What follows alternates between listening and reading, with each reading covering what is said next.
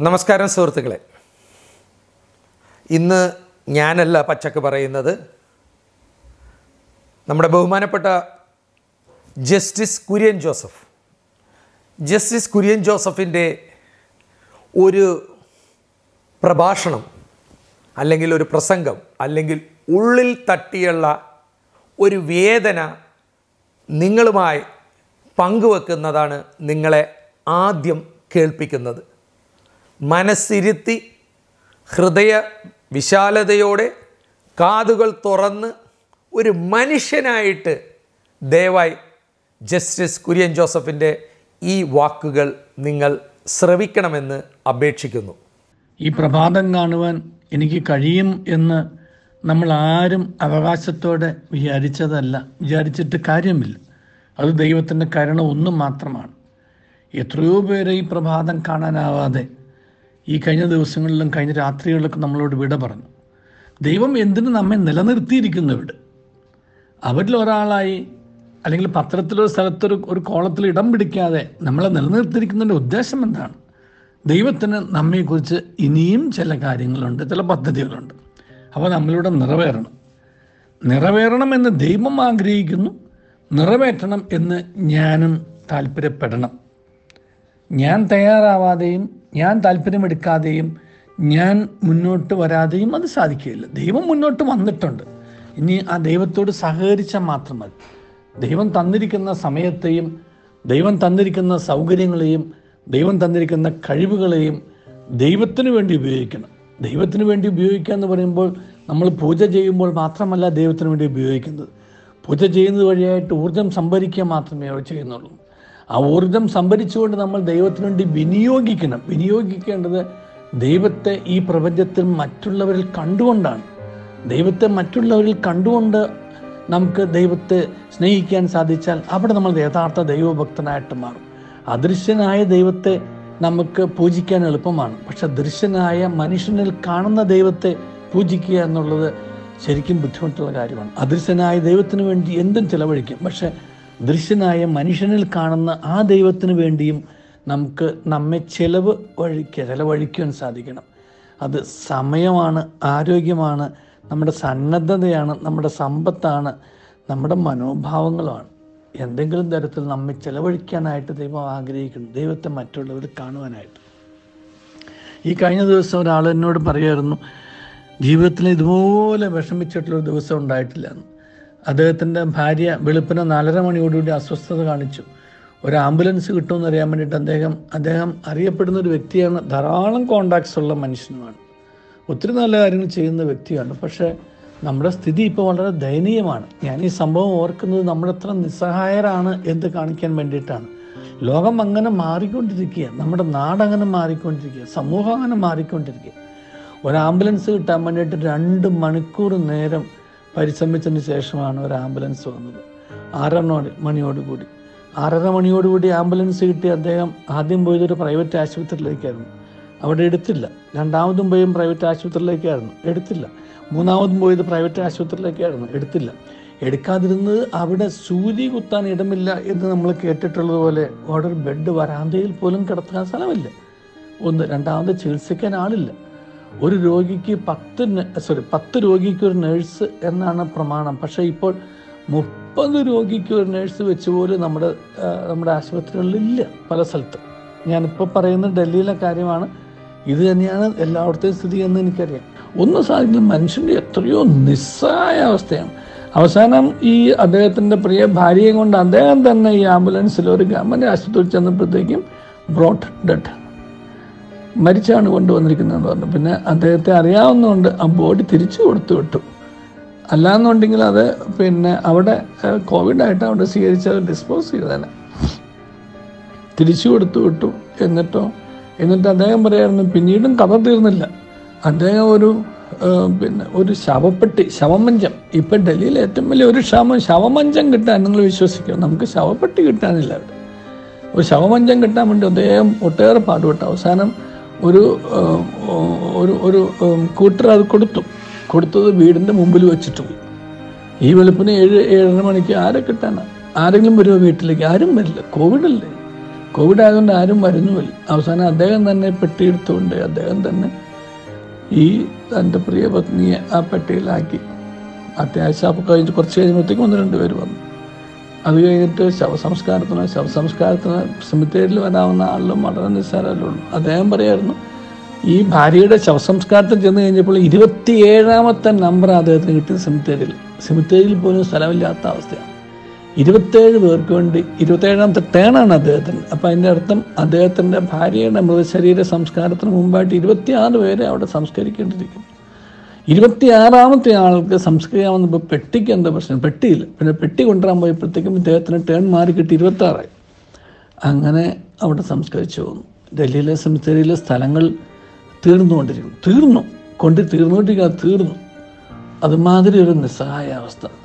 സംസാരിക്കുന്നത് കണ്ടാൽ നമുക്ക് സങ്കടം തോന്നും. കഴിഞ്ഞ ദിവസം നിങ്ങളും ശ്രദ്ധിച്ച് കാണും ഒരു വാനിൽ ഇരുപത്തിരണ്ട് മൃതദേഹങ്ങളാണ് കൂട്ടി കൂട്ടിയിട്ടുകൊണ്ട് പോകുന്നത് കണ്ടത്. ആംബുലൻസ്. ഇത് ഇന്ത്യയിൽ സംഭവിക്കുന്നതാണ്. ഇത് അവിടുത്തെ സംഭവിക്കുന്നതാണ്. അങ്ങനെ അടക്കിയിട്ടിരിക്കുകയാണ്. ഈ കഴിഞ്ഞ ദിവസം ഇന്നലെ പോയ ഒരു അച്ഛൻ പറയുമായിരുന്നു ശവസംസ്കാരത്തിന് ചെന്ന് കഴിഞ്ഞപ്പോൾ അദ്ദേഹത്തിന് ഡിപ്രഷൻ ആയെന്ന് പറഞ്ഞു. കാരണം അതുമാതിരി ആളുകൾ ഇങ്ങനെ മൃതശരീരങ്ങൾ കൂട്ടിക്കിടക്കാൻ സംസ്കരിക്കാനായിട്ട് ഊഴം കാത്ത്. നമ്മൾക്ക് പലതിനും ക്യൂ നിൽക്കുന്നത് എന്തിനു വേണ്ടിയിട്ടാണ് ക്യൂ നിൽക്കുന്നത് പലതും കിട്ടാൻ വേണ്ടിയിട്ട്. ഇവിടുത്തെ ക്യൂ എന്തിനു വേണ്ടിയിട്ടാണ്? ഇവിടെ ക്യൂ നിൽക്കുന്നത് ഡിസ്പോസ് ചെയ്യാൻ വേണ്ടിയിട്ട്. ലഭിക്കാൻ വേണ്ടി നിൽക്കുന്ന ക്യൂവിന് പ്രതീക്ഷയുണ്ട്. പക്ഷേ ഡിസ്പോസ് ചെയ്യാൻ വേണ്ടിയിട്ട്. വിട്ടിട്ട് പോരാൻ നിൽക്കുന്ന ക്യൂവിന് പ്രതീക്ഷയൊന്നുമില്ല. എത്തൊരു നിസ്സഹായ അവസ്ഥയാണ്. എന്തൊരു മനുഷ്യന്റെ നിസ്സാരതയും നിസ്സഹായതയും മനസ്സിലാക്കുന്ന ഒരവസ്ഥ. ഇത്രയൊക്കെയുള്ള ജീവിതം തിരിച്ചറിയുവാനും ജീവിച്ചിരിക്കുന്നിടത്തോളം കാലം നമുക്ക് നമ്മുടെ ജീവിതത്തെ മറ്റുള്ളവർക്ക് നന്മയ്ക്കായിട്ട് ഉപകരിക്കാനും നമുക്ക് കഴിയട്ടെ എന്ന് പ്രാർത്ഥിക്കാം. നമ്മുടെ ആരുടെയും കയ്യിലല്ല നമ്മുടെ ജീവിതം. നമ്മുടെ ജീവിതം ദൈവത്തിന്റെ കൈകളിൽ തന്നെയാണ് എന്നും തിരിച്ചറിയണം. ദൈവം ജീവൻ തന്നിട്ടുണ്ടെങ്കിൽ ദൈവം ജീവിതം അനുവദിച്ചിട്ടുണ്ടെങ്കിൽ ആ ജീവനും ആ ജീവിതവും ഉപയോഗിച്ചുകൊണ്ട് നമുക്ക് പറ്റുള്ളിടത്തോളം സാധിക്കുന്നിടത്തോളം മറ്റുള്ളവർക്ക് വേണ്ടി മറ്റുള്ളവരിൽ ദൈവത്തെ കാണാനും ആ ദൈവത്തെ ശുശ്രൂഷിക്കാനും കഴിയുന്ന നന്മ ഉണ്ടാവട്ടെ എന്ന് പ്രാർത്ഥിക്കുന്നു. ദൈവം നമ്മെ അനുഗ്രഹിക്കട്ടെ. നല്ലവരായ ആൾക്കാർ ഇത്തരത്തിൽ പല പ്രഭാഷണങ്ങളും പ്രസംഗങ്ങളും നടത്തുമ്പോൾ അത് ഉൾക്കൊള്ളാൻ കഴിയണം. ഉൾക്കൊള്ളണം. ഓരോ ദുരന്തവും ഓരോ സന്തോഷവും ദുഃഖവും എന്താവട്ടെ ജീവിതവും എല്ലാം നമ്മൾ ഒരാൾ പറയുമ്പോൾ അയാളുടെ ഷൂവിൽ ആ മനുഷ്യന്റെ അവസ്ഥയിലേക്ക് നമ്മൾ നിന്ന് കേൾക്കണം. അപ്പോഴാണ് മനുഷ്യത്വം വർക്ക് ചെയ്യുന്നത് പ്രവർത്തിക്കുന്നത്.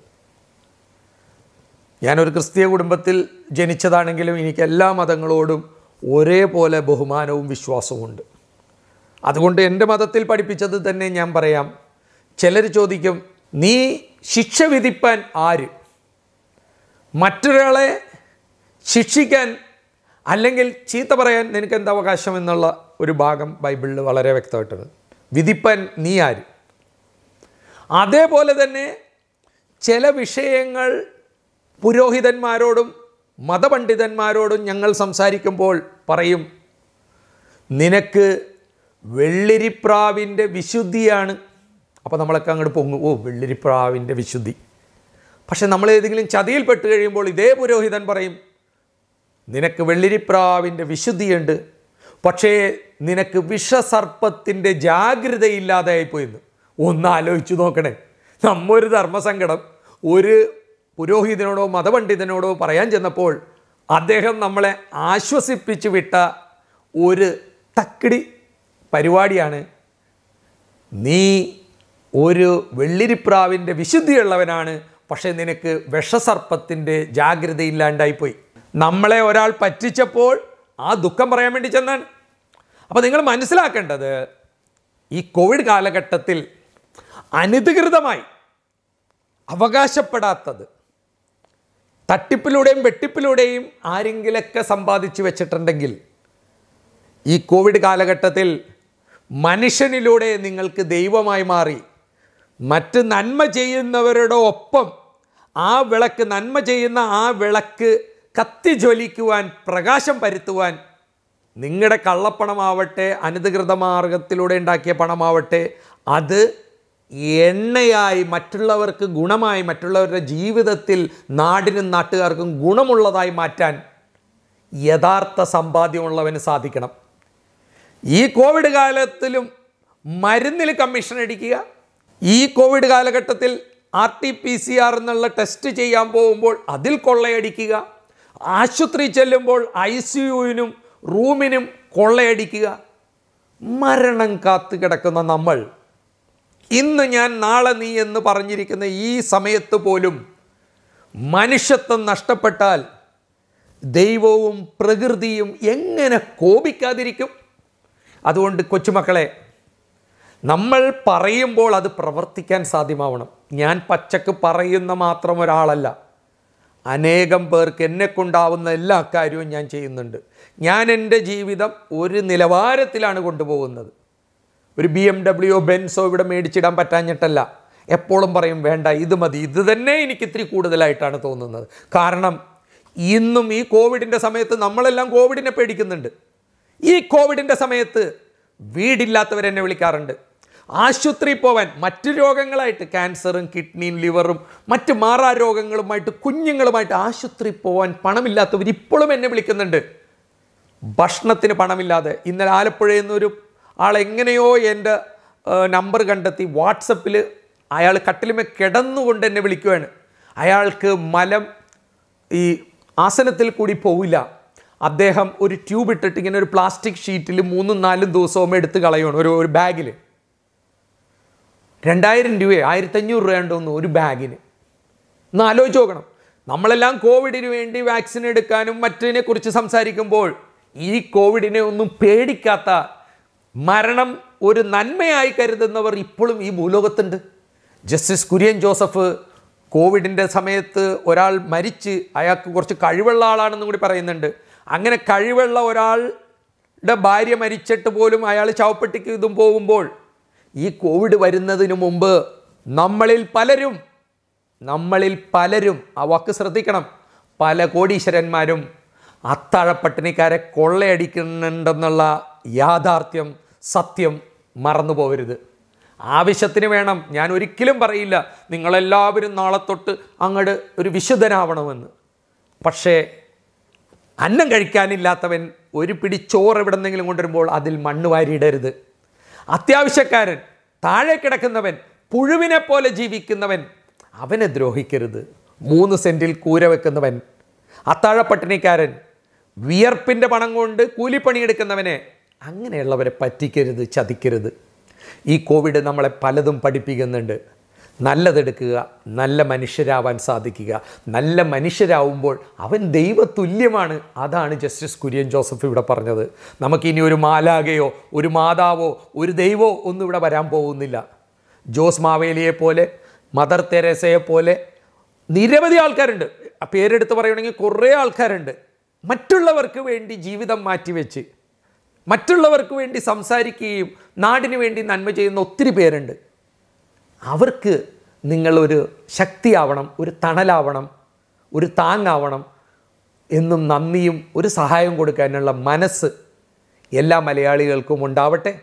ദുരന്തത്തിൽ പോലും കൈയിട്ട് വാരുന്ന പട്ടിണിപ്പാവങ്ങളുടെ കൊടുക്കേണ്ട അർഹതപ്പെട്ട കാര്യങ്ങളിൽ പോലും കൈയിട്ട് വാരി കൊള്ളയടിച്ച് വീണ്ടും വീണ്ടും ധനികനാവുന്ന കുറച്ചാൾക്കാരുടെ മനസാക്ഷി ഈ പച്ചക്ക് പറയൽ കൊണ്ട് തിരുത്താൻ കഴിഞ്ഞാൽ ഞങ്ങൾ കൃതാർത്ഥരാണ്. എല്ലാവർക്കും നല്ലത് വരട്ടെ. ശുഭരാത്രി. ജയ് ഹിന്ദ്. ജയ് ഭാരത്.